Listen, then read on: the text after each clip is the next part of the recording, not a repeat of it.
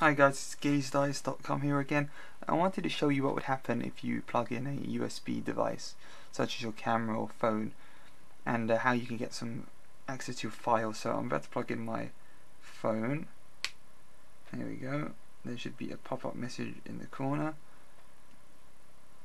Alright, right now it says unable to detect, but that's because I haven't activated the right setting on my phone.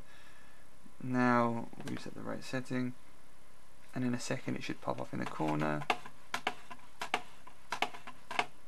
There we go. And now that's my phone has been opened up. As you can see you can gain access to your files to your documents to your photos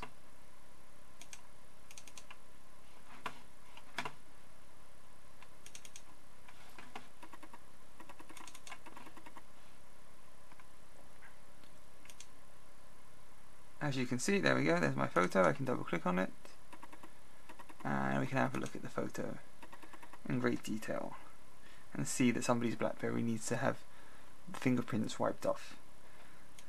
there we go. Um, for the record, that's not my Blackberry. Um, so there we go, that's how you can save, and you can save the photo to your Chromebook and it will be saved here. You click down here and it's now saved.